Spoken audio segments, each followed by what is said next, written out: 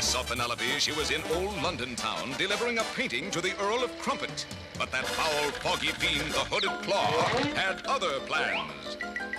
Yes. Oh!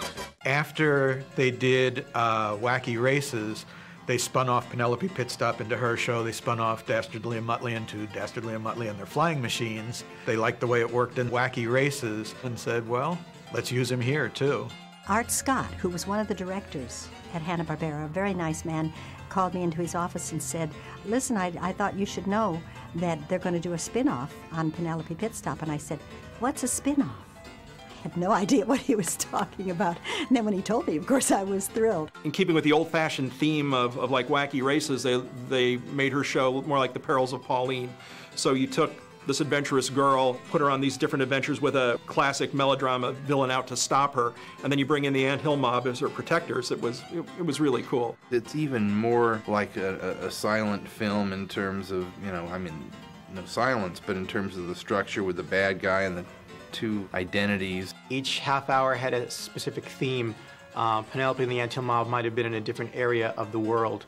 So one week they might be in the Arabian desert, the next week they might be in downtown Manhattan. And each week you had the Hooded Claw trying to find ways of getting Penelope's inheritance. Penelope Pitstop inherited a great deal of money, and he was her guardian, but he was, he was called Sylvester Sneekly. And as her guardian, he was a very modest, well-spoken man. But then he turned into the Hooded Claw. As the Hooded Claw, I'll make sure that this is Penelope's last roundup.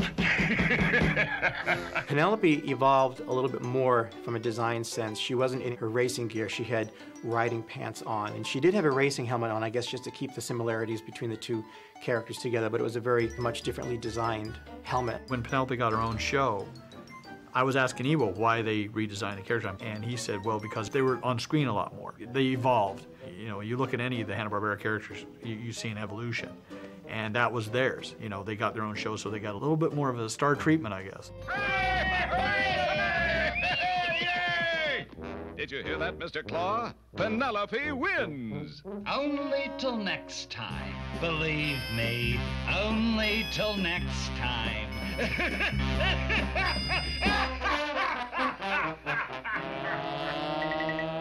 Paul Lynde was hysterical. I mean, Paul Lynde could take, you know, three words that no one could make funny, and, and his inflections and the way he said it, it was hysterical. Blast! If it weren't for a shortage of evil henchmen, I'd fire you. I'll have to go to the carnival myself and do a little dirty work. And the smart thing about casting Paul Lynde is because, again, you've got a villain in this piece trying to do somebody harm, but you put a voice actor like Paul Lynde behind that character, and it takes any kind of threat totally away. Paul Lynde was what really made that like a party because he was so funny. We were all laughing so hard at him that we could barely get up to the microphone to do our lines because he was such a funny, funny, witty man. Isn't there one ounce of good in you? Yes, I promise not to laugh.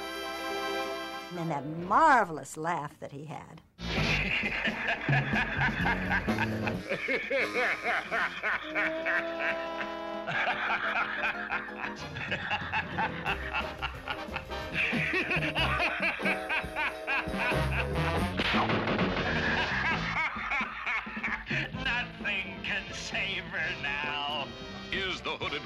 right? Can nothing save our Penelope?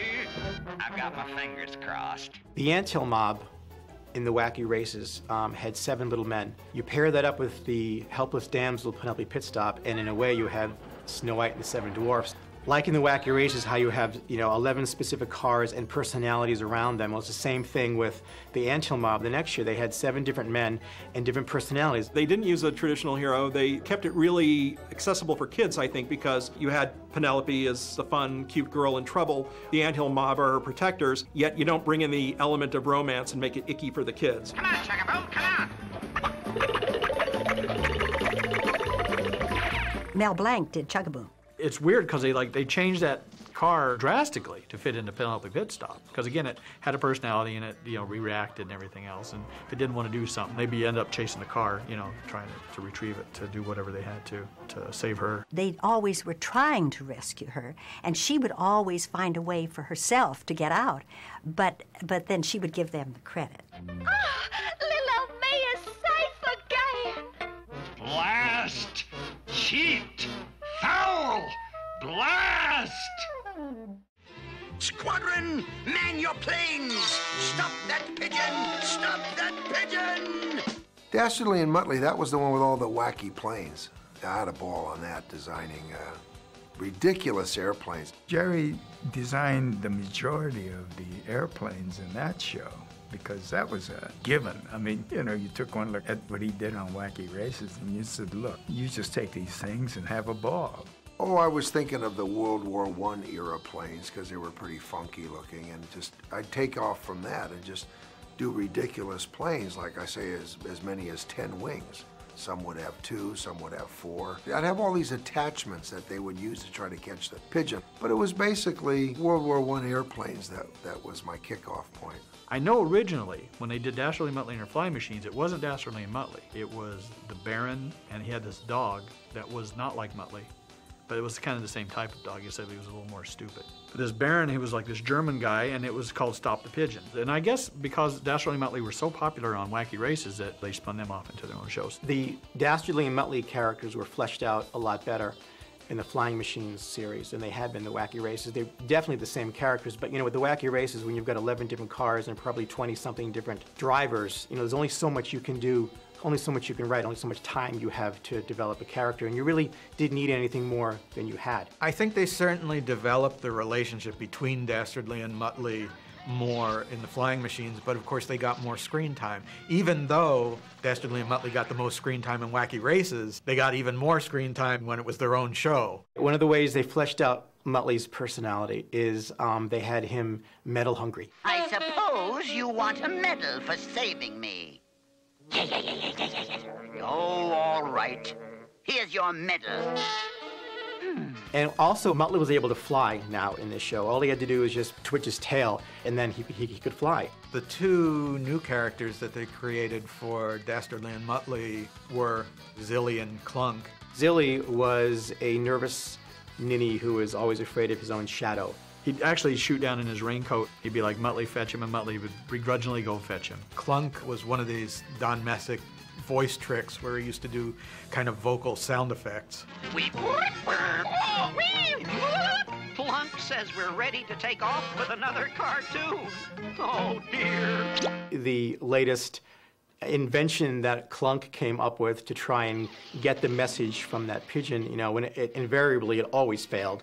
So as Dastardly's falling again down to earth, the telephone rings.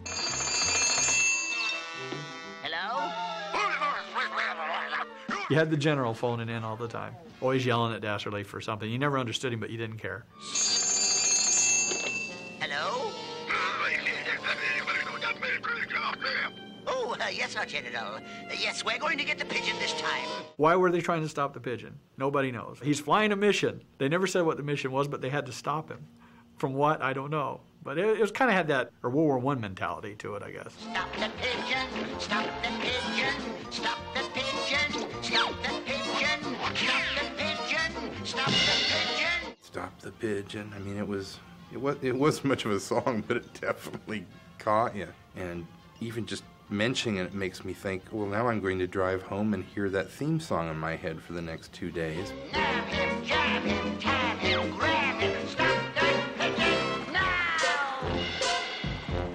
Magnificent Muttley was a great little short. It sort of broke up the two uh, Dastardly and Muttley cartoons by having these dream sequences. Muttley's sleeping and you know, Dastardly like screaming at him about, you know, wake up Muttley, you're dreaming again. Wake up there, Muttley. You're dreaming again. You're not Robin Hood, and you're not Gunga Din. Muttley would be having these big daydreams of what he what he thought he was or what he could do. Dastardly put him to work mopping the floor and he'd pretend he was a musketeer with it or something. And at the end he'd be like jabbing Dastardly with the with the mop. Muttley!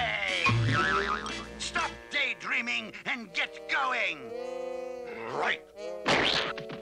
When they came back to do Dastardly and Muttley, it'd say, "Okay, now you're wearing the flight goggles and you're um, and you're you know chasing a pigeon around." I think Muttley's reaction was like, you know, "Huh, "Okay," and you know, it didn't matter to him. He was still working. Got a fresh and fresh and fresh and restaurant. What did you say? That's better. I love Hanna-Barbera cartoons. They were brilliant, but they didn't make a big deal of it. You know, they were so funny and so wonderful. I just appreciated them so much. It was just something about them, just something about the way they were put together. Again, the, the quality uh, of those cartoons were just leaps and bounds above anything that was being done at the time.